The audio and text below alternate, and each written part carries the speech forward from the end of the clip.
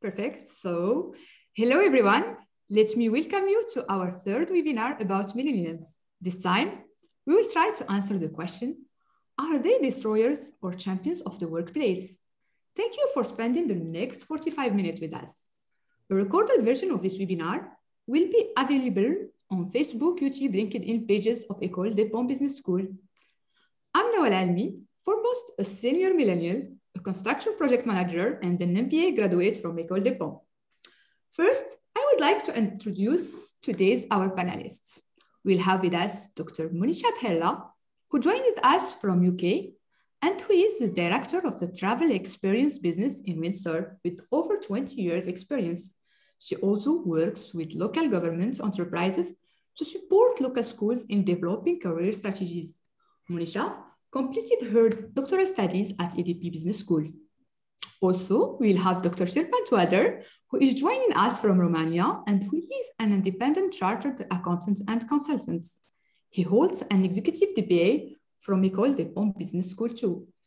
Shirpan worked for one of the big four accounting firms in Romania for 11 years as senior partner.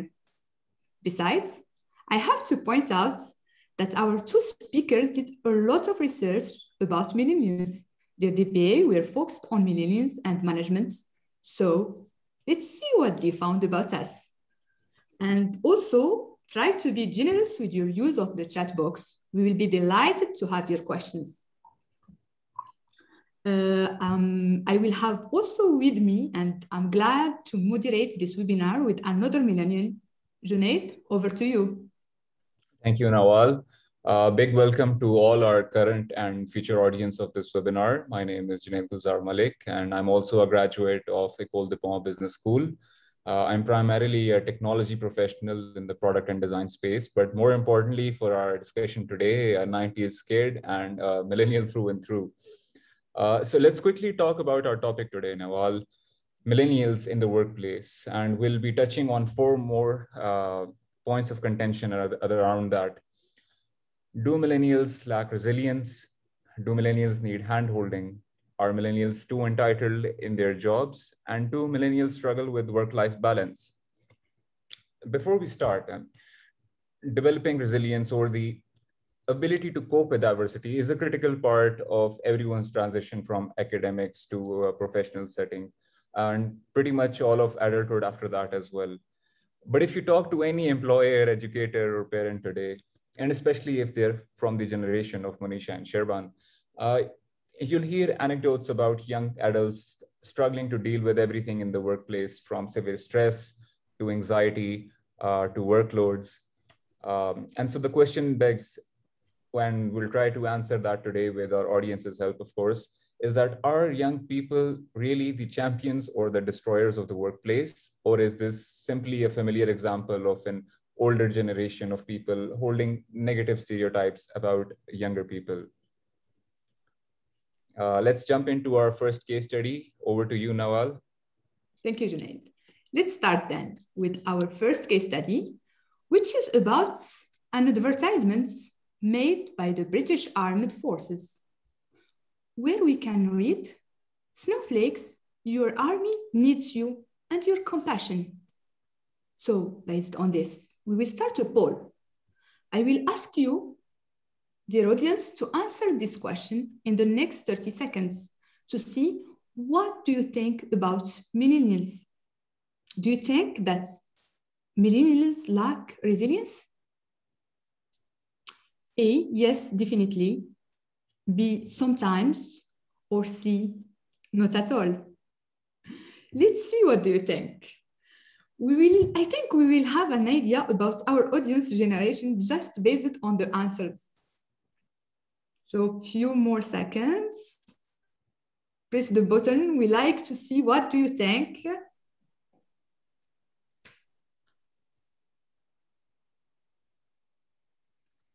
Uh, it's unfortunate to see though.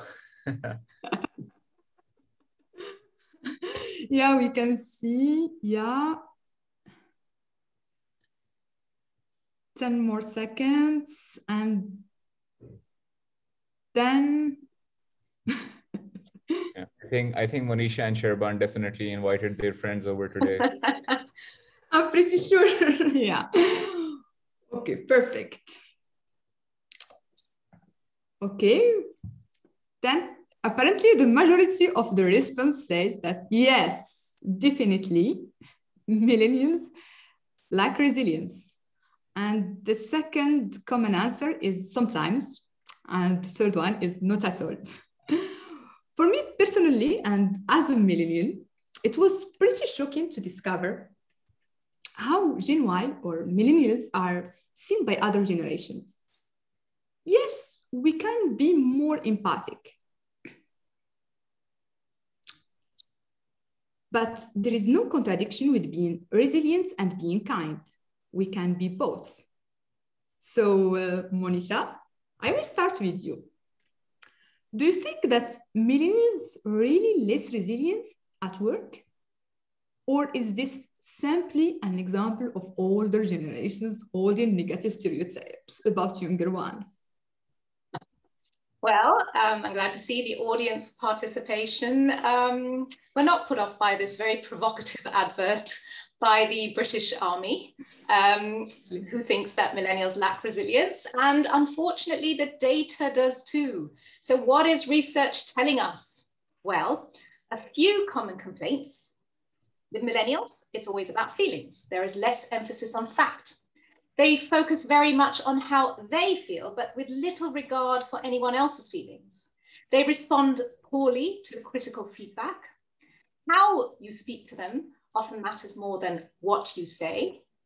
And there's a lack of engagement when things become challenging. They're less tolerant of ambiguity. They're more prone to stress and possess less emotional stability. There's a lack of motivation when things not going their way. And doctors have commented on the impact of the pandemic, with millennials struggling the most. And finally, optimism, which has been a very big millennial positive, is diminishing. So again, I emphasize this is not my opinion, this is research information. We grow from adversity. This is what makes us resilient. However, there appears to be a perception that millennials are struggling with adversity, which in turn can limit their own growth and that of the company. Thank you, Monisha. I agree with you in some points. And since you evoked mini research, it's really important to note that numerous studies confirm a significant relationship between age and resilience. A baby boomer or Gen Xer is likely to be more resilient than a millennial by the sheer fact of being older. Besides, I think that the current pandemic is a very, very relevant test for millennials' resilience. It could have crushed their spirits. Instead, it has reinforced their desire to help drive positive change in our communities. You know that the last Deloitte report showed that 75% has experienced new issues that have made them even more resilient. And the pandemic has inspired them to take positive actions to improve, to improve their own lives and their communities. So, Monisha, I'm coming back to you. I don't think that millennials are poorly prepared to deal with life. We are just differently prepared from others. You are right, Noel. Some millennials, like our two wonderful moderators today, are probably more resilient. But unfortunately, data still shows that the perception of companies is that most others do lack resilience. And the solutions have to come from the company and from the millennial. Companies have to stop coddling. Managers have to stop worrying about offending their teams and focus more on developing and improving them organizations have to create a culture of resilience, perhaps through introducing a, a, a, radical candor, which I'm sure many of you have heard of. It's a must, an environment where you feel comfortable to challenge each other and people are not frightened to speak candidly to their millennial teams. Um, for you millennials, I would ask you to change your mindset. We encourage you to see beyond how someone speaks and focus on their content don't see the normal challenges of working life as an issue that prompts you to leave the country, uh, the company, or, or blame the boss. Disagreeable encounters, awkward situations are all part of the work environment. Um, we also want to see you incorporate more pragmatism, problems, challenges. These are all life and they don't reflect on you, but how you deal with them does reflect on you. We'd also like to see you flip your feelings. So before you become offended about how your manager spoke to you, think about how he or she might be feeling. Use that famous millennial compassion that we hear so much about. And finally, research is showing that millennial resilience varies across the world. Now, you guys are going to be competing against millennials from different countries who possibly have higher levels of resilience, which is obviously what organizations want. Thank you, Monisha, for those advices, to which I, I really totally adhere. And since 50% of workers are now considered millennials, and while it's really encouraging to, to know the majority of them are adapting and remain optimistic, companies and business leaders have this responsibility, but, but also it's an opportunity for me to, to find ways to help them fulfill their career ambitions because our collective future depends on it. Now, I think we will move to the second case study. Junaid, over to you. Thank you, Nawal. Um, while we wait for the presentation to come on, there it is. Um, I'll just I'll just uh, go into some background about this case study. This question is part of an actual research that was done on millennials and circles around Miriam, uh, who is a newly hired financial analyst at a top consulting firm uh, and a firm that she had always dreamt of joining. And while Miriam has always been nurtured and cared about, about uh, by her parents and teachers, uh, she encountered an unexpected reality in her new job. for instance, her manager is very demanding uh, distant and never has enough time for new colleagues and hires. And as a result, Miriam feels uh, insecure because there is not enough feedback given uh, about her work and feels inefficient because there is no clear instruction on how to go about. Uh, so a question, and uh, I will I will take this up with my audience as well.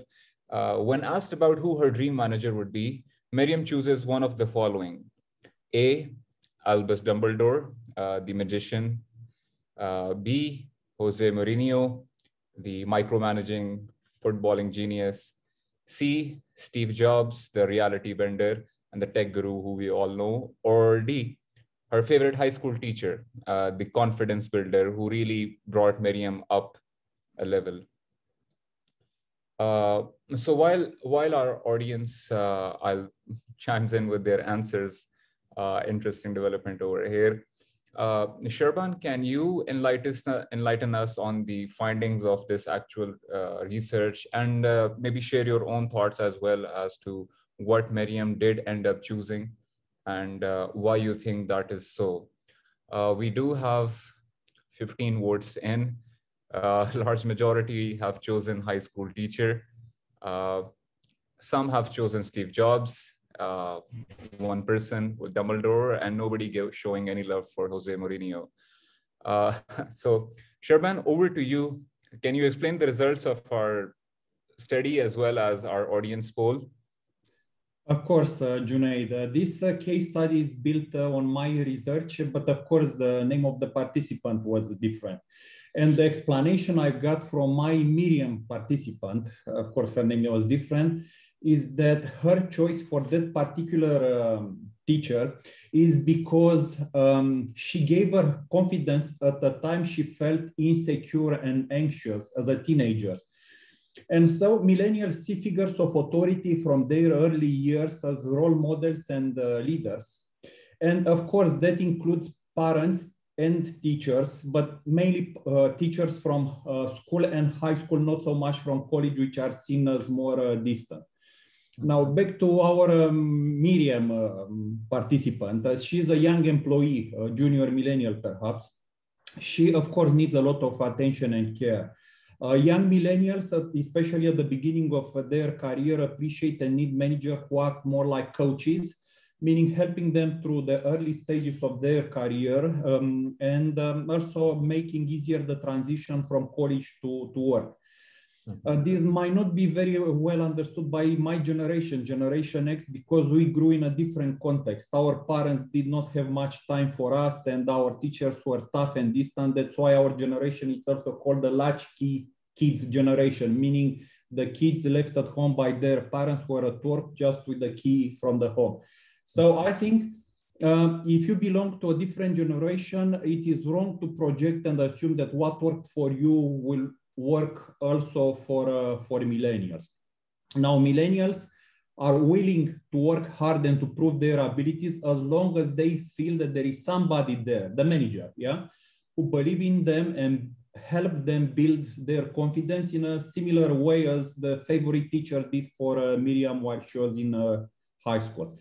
But once they get more mature, more experienced, become more comfortable in their job, they might need a different type of support and could potentially change uh, their choice and answer uh, differently to, to that question. Perhaps Steve Jobs, my favorite answer would have been uh, Albus Dumbledore.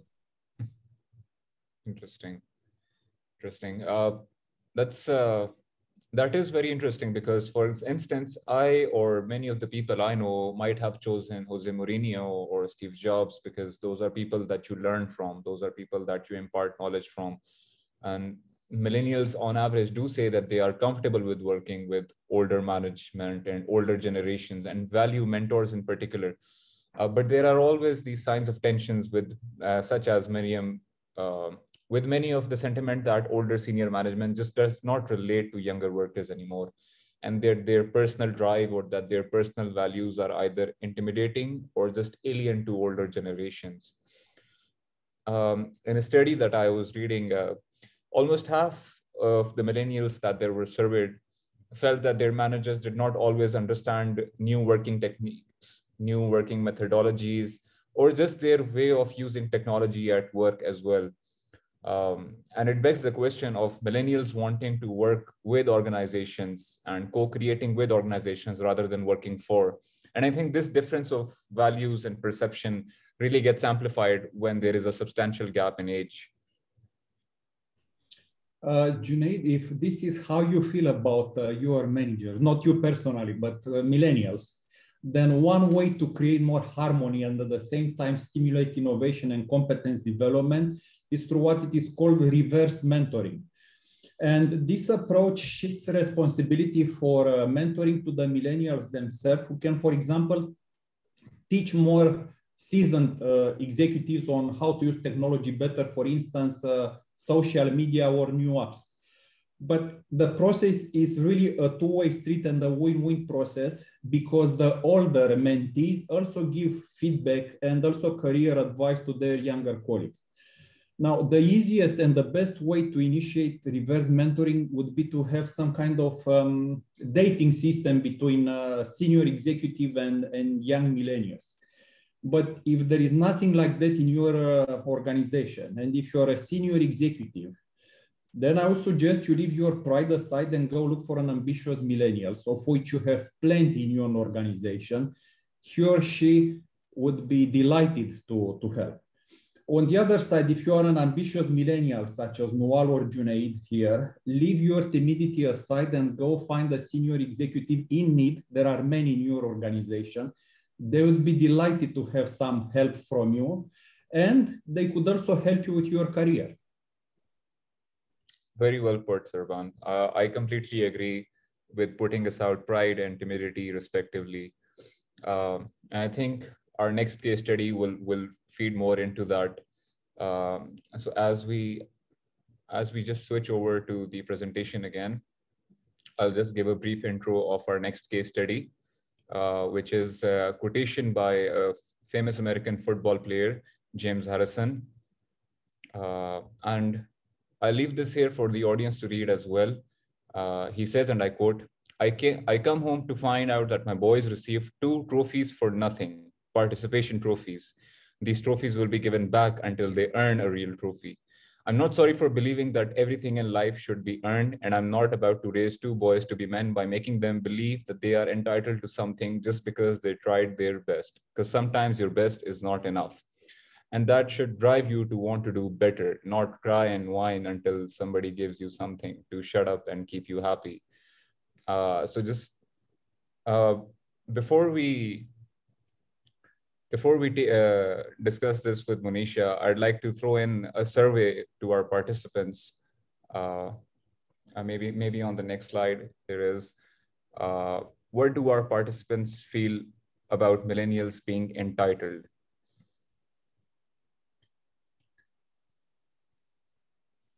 All right so do do put your answer in uh, and i will definitely invite monisha to to chime in as well about her expertise i'm just reveling in the in the lovely um, results here yeah, it's uh, it's it's, it's it's like an insult, but dragged over thirty seconds or one minute. I can stretch it out a little longer.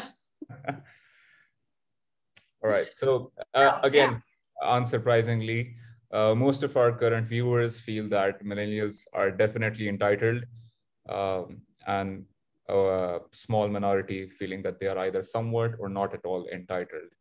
Uh, uh, Monisha, your thoughts on, on the whole scenario and this case study as well, please. Well, as a Gen Xer, I was delighted to come across this Instagram post. The number of times I've had team members come to me when things go wrong and say, but I tried my best. And I would love nothing more than to say to them, your best in this instance was not good enough. But I can't because millennials believe that their best deserves rewards. Now, millennials hearing this will be shouting at me saying, I'm not like that. None of my friends are like that. Don't stereotype us. But research shows that organizations perceive millennials to be entitled. But what do we mean by entitlement? So to a Gen like me, Deliveroo and a daily coffee from Starbucks are not entitlements, nor is being in a job for five minutes and expecting a pay rise and a promotion, no matter how well I think I've done. Now, my research on SMEs found that millennials felt that they were entitled to holidays whenever they felt like it, or to leave during the day whenever, at whatever time they, they were happy with. Now, these in itself are not entitlements. What makes it entitled is that there is little thought to how the business or their colleagues will keep things ticking over in their absence. So we have good entitlement and we have bad entitlement. High aspiration, big ambition, that's good entitlement. It's bad entitlement that causes the problems. Fair enough fair enough. Uh, as much as I believe that James Harrison, the, the football player from our case study, was somewhat of uh, verging on toxic parenting. Uh, but that aside, you have to see that the economic downturn and the pandemic especially has had a significant impact on loyalty of millennials and all employees, to be honest, uh, that employees feel towards their employers. And at the same time, studies also suggest that Gen Y, our generation, is the most passionate about the work they do. And the tech giants, Facebook, Instagram, Snapchat, you name it, are, are testament to that. And according to even more studies, uh, which Monisha, you can maybe add more context to, this generation are committed to their personal learning and their personal development uh, in their workplace. And this remains their first choice of benefit, in fact, from their employers. Uh, in second place, they, they want flexible working hours uh, something you you mentioned you take issue with. And cash bonuses for example come at a surprisingly third place. So millennials are looking for a good work-life balance and strong diversity policies but feel that maybe employers have failed to deliver on those expectations. And work-life balance is often taken for granted as well by older management on the assumptions that millennials have fewer responsibilities perhaps in their personal lives and um, in the study that I was referring to, more than half said that while companies do talk about diversity and uh, work-life balance, they do not feel that the opportunities are equal for everyone or that the company's values represents their own. And perhaps this is where the, the discrepancy lies. Monisha, what do you think about that? Well, Junaid, you know, all the things that you've mentioned are actually good entitlements. And actually, Gen Xers like me, we don't have a problem with working from home, flexible working hours, or um, you know the whole concept of work-life um, blend. Um, the problem we have is with the bad entitlements, um, and the problem with these is that in a company, due to these bad entitlements, we are starting to stifle creativity and progress because we're very busy rewarding lower standards. Um, there is an expectation in many organizations that we have a right to privileges rather than earning privilege. Um, the workplace culture is becoming more selfish and transactional of I'm take, I take, I take, as opposed to a balance of give and take. And this is all being perpetuated because millennials are setting this same example for Generation Z, who are now slowly trickling into the workplace. And again, solution has to come from both parties. From the companies, we need to see them stop giving in. Companies have to rethink the generous onboarding programs, the golden hellos, overcompensating mediocrity, inauthentic gestures of promotion or, or praise. And companies have to show millennials what does good look like. They have to set the example. For the millennials, we're back to a mindset change. Think about a place, a workplace where the praise is authentic and it's not just dished out to you because um, a company is scared that you're going to leave. Um, we want you to be comfortable with a boss who rewards you with a genuinely deserved promotion and doesn't just award it to you in name only to keep you happy. And finally, we need your help to create that environment of give and take. Very true. I definitely agree with the good entitlement part. Um, but I will say that um, perhaps the work life paradigm has shifted altogether. Cubicles are dead. Uh, mental well being of employees has been repeatedly proven to be a driver of business success and business growth. And this is what builds strong, loyal teams. And I think the trust deficit here is what needs to be overcome. Technology also a catalyst for intergenerational conflict, like I mentioned before. And I think the long and the short of it is many millennials feel being held back by rigid or outdated working styles. Uh, but I will give you this that there ha- there is a trust deficit that needs to be built first before before these things are taken as a luxury. Uh, I think I guess we'll uh, we'll park this case study here and uh, move on to our next one. Uh, maybe Nawal, you want to take over from here?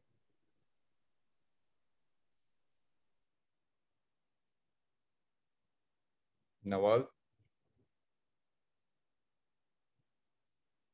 Thank you, Junaid.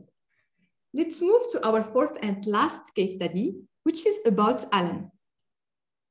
Alan is the founder of a fast growing technology startup that employs many millennials. He appreciates the energy and the creativity of his young crew, but recently he noticed a disturbing trend. He often finds himself working alone after 6 p.m., either at the office or virtually. He is at a loss to understand.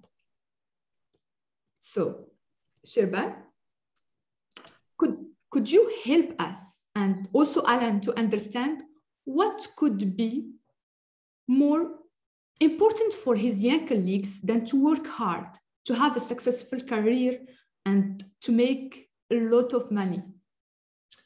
Sure. So now I'm going to reveal, reveal something about uh, Junaid and Noel because you are millennials. So you uh, as millennials, you view work as a, uh, as a key part of your life, but not as a separate activity that needs to be balanced against other activities. It does not mean that you are not interested in opportunities for advancement or financial rewards, correct? But at the same time, what millennial wants is time for friends and family. And they also want a good job and they want to make money and they want to have that promotion and doing the things that they enjoy. So they do all, all, all of uh, those things, but they want it on their terms. And yet at the same time, they don't mind about changing jobs or organization in an effort to have it all.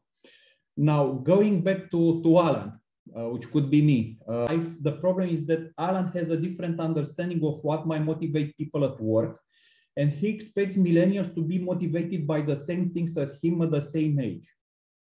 So what should he do? And my suggestion is that he needs to approach his younger colleague, colleagues with a different mindset, what it is called in literature, a growth mindset. Meaning that first he should suspend his possible bias. Second, to try to understand them, to be curious about them and have an open mind about them. Then very importantly, it's about communication. And he, he has to communicate very clearly what he expects from them. And finally, spend time with them to coach and, and mentor them. So this is a personal growth uh, opportunity for uh, Alan. I think that his success and his management approach and the success of his organization are linked and should be linked to his younger colleagues' uh, success. Uh, this is how I see it. Thank you, Sherban. Really, as a millennial, I couldn't explain it better than you did. and allow me to add something about it. I think that our goal in life is not to have a work life balance. The goal is to have harmony. The term work life balance implies that work is separate from life, but in reality, it's all life. Yet, work is not the opposite of life, it's instead a part of it. Just as family is, as our friends and community, hobbies, all of these aspects of living have their share of wonderful uplifting moments and their share of moments that drag us down. So yes, Sherban, we want to have a harmony, a free, fluid, and flexible life to prioritize whatever is most important that day. Do you agree? You know, I really like the, the word that you used, harmony, work-life harmony, so much better than work-life balance. And that harmony concept leads to a workplace uh, value that uh, millennials hold very, very dear. And this is freedom or autonomy, but uh, not for the reason that other generation would think. They do not wish to be free of direction or, uh, or supervision. Uh, giving millennials uh, autonomy on the job communicates that you believe in them and that you trust them. Uh, like other generation, um, they detest being micromanaged. However, for instance, my generation, we dismissed micromanager. We didn't like them because we felt that they were controlling us. But not millennials. Millennials take uh, this micromanaging behavior personally because for them, it looks like a lack of trust or, or confidence in them. So what millennials often say to their manager is the following. Tell us what you expect from us very clearly, show us how to do it or coach us, and then get out of our way. Let us do the job. Yes, Sherban, it's exactly the way that we see it. The majority of my millennials friends and colleagues will agree with me when I, when I say that the most important is not to be early or late. The most important for us is the job to be done, the goal, the deliverables. So just make it clear to us, and we assure you that we will do it as perfectly as we can. It, it seems more useful for us to not to try to balance the unbalanceable, but to treat work the same way we do with our personal life by maximizing what we love. So by those words, I think we will move to the Q&A question, Q&A session with uh, Junaid. Thank you, Nawal. Uh, so I have a few questions of my own that I would like to, to shoot at our doctoral experts here. Uh, primarily, number one being, what should organizations do or do differently uh, to harness the abilities or special special talents of millennials that are missing in the older generation? Uh, how can you leverage that uh, as an organization, as a Gen Xer, as just somebody who has to work with a millennial? I, I can uh, take that question if I may. Um, so th there are many things that organizations uh, and millennials should do. So it's not only one or the other. Both of them they should work together to integrate uh, the millennials better in the in the workplace and also get the best out of them. But because the question was about uh, organization, in my view, managers, so managers from the organization are key to better integrate and get the best out of millennials because uh, managers or leaders, they have the greatest amount of responsibility and influence on a day-by-day uh, basis. Uh, if you combine this with the um, well-established fact that employees leave managers and not organization, and with this I would, I would like to um, um, share with you a Saratoga Institute um, survey, which showed that um, uh, the relationship between um, uh, an employee and his or her direct uh, super, uh, supervisor counts for 50% of the job employ employment satisfaction. So if you add all this together, I believe that what organization should do would be to equip the managers, including the mid-level managers, but the low uh, level managers as well with the knowledge, the know-how, and also the right mindset on how to work with the, the millennials.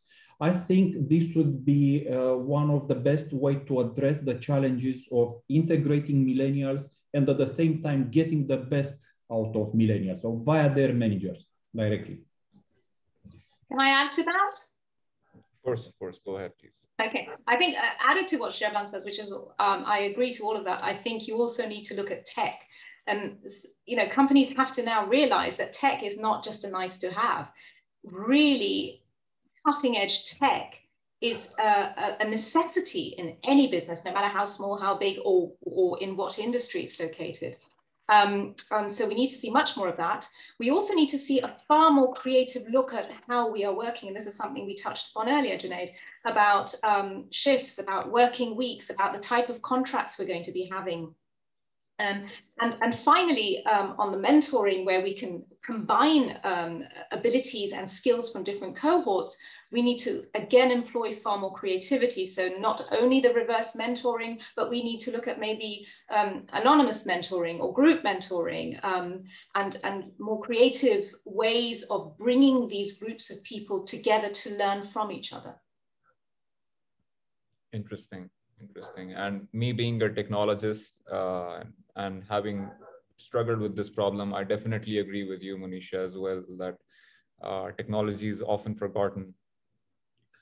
Um, thank you, Sherban and Monisha, for, for that answer. Let's, uh, let's take another question, which is from uh, my friend and colleague, Ali Raza, who, who asks, it's, it's more of a comment. I will phrase it like a question for both of you, which is that millennials are Gen X and Y and Z, uh, basically three generations between the ages of 25 and 40, uh, give or take.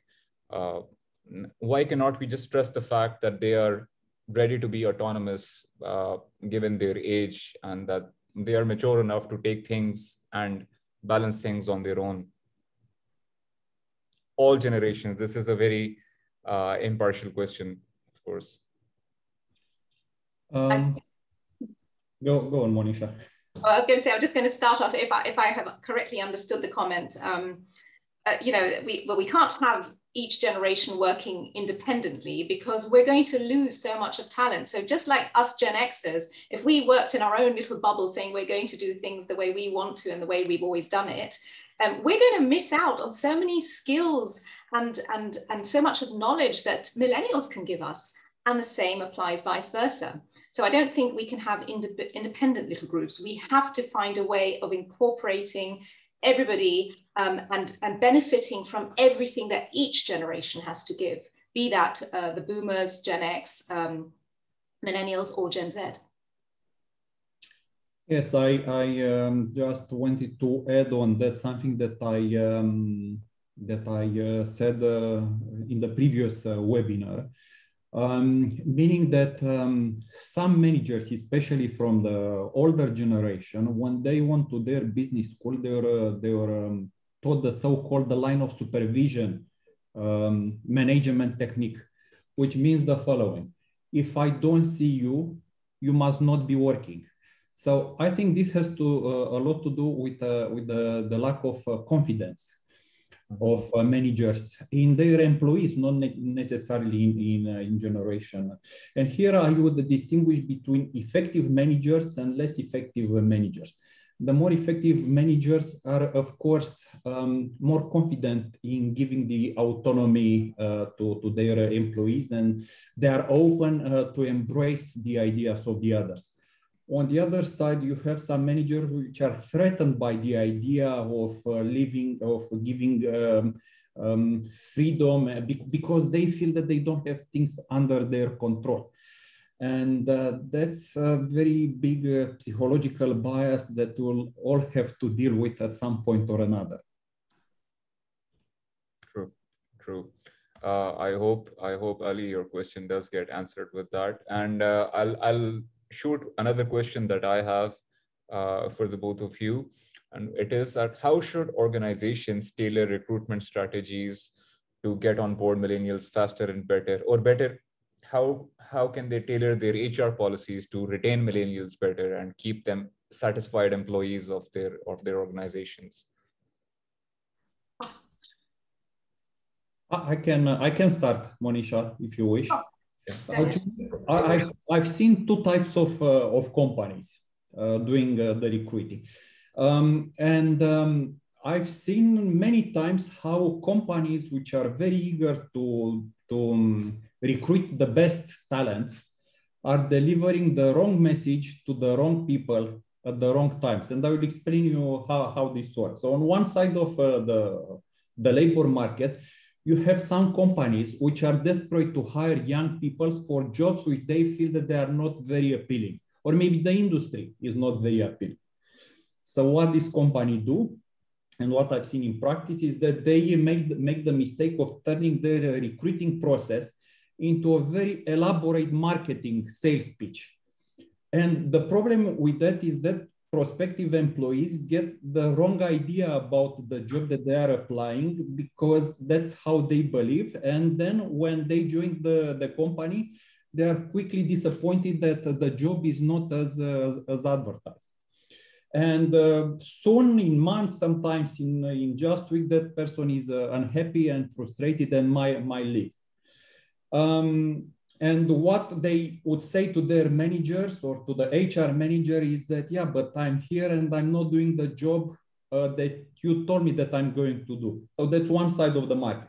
On the other side of the market, you might have some companies like investment banks or technology companies who are very selective in choosing new, new employees. But here the problem is that um, that they, their process is too cumbersome, too long. It takes too long. You know, it takes a there are gaps between the job offers and acceptance and the lack of communication and so on. So people are lost in between the, those uh. So now one, uh, one uh, suggestion, uh, so um, it's uh, about attracting more talent is would be to to diversify um, to diversify the sources of uh, recruitment because what I could see is that um, many of organizations, what they do is they go look for recruits in the same business school in the same place, place for many years.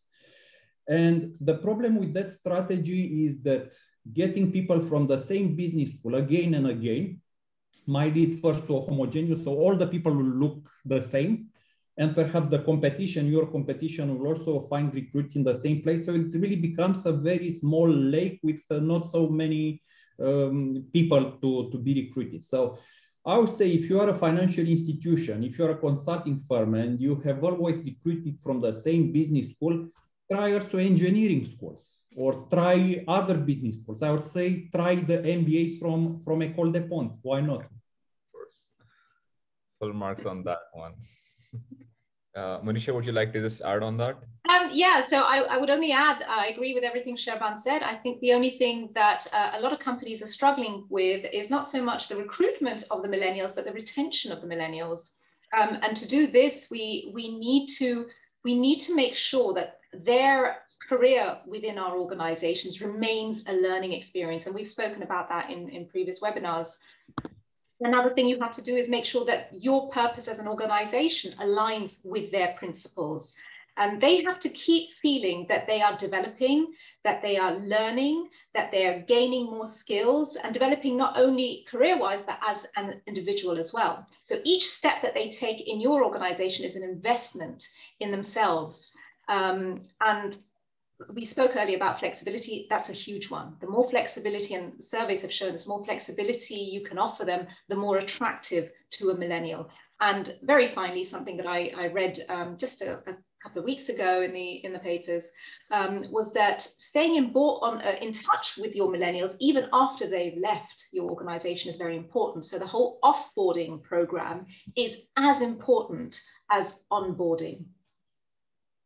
True, true uh, happy employees, whether they're coming or going, are always an asset to the company. Uh, I strongly agree with that. Uh, and thank you as well, Sherban, for, for answering this question. Uh, I think I think we have answered all of the questions in the chat. I'll hand it over to you, Nawal. Uh, Thank you. Thank you for uh, those insights.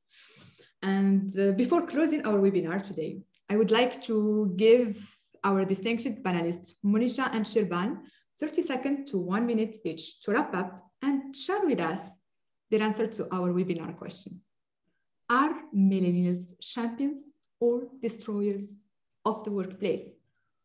Monisha, would you start? Right. Well, um, at present, we are seeing that in some organizations, millennials are the champions but in too many, they are the destroyers. Um, not so much of the workplace, but more of the destroyers of the potential of what that workplace could be. So for the company, in order to fix this, it's all about embracing the millennial positives, incorporate all the good millennial stuff, the flexibility, the boldness, the innovation. But companies also have to stand firm against the things they don't like. Now, organizations are the ones often complaining about the issue of resilience or the lack of, you know, the, the entitlement. But at the same time, they're the ones who are perpetuating the problem through their own management techniques.